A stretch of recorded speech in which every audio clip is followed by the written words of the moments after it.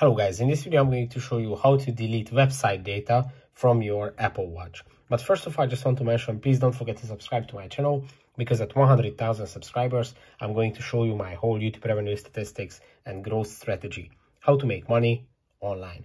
So let's jump into it. First, open your Apple Watch, then go to your settings menu. And in the settings menu, you just have to tap on the general option and in the general menu, just scroll down until you find the website data.